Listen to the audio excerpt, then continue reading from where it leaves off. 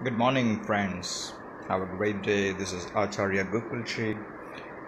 Hope you are all doing great. Today we are doing the 450 Surya Namaskar. So we will live stream some 50 Surya Namaskar, and after that we will disconnect our live streaming and it we will start again with the Kalari Vandanam.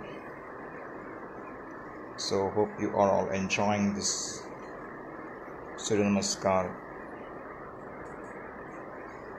and have a good luck and do this Surya Namaskar daily for your good luck and prosperity of your life and a healthy and wealthy life.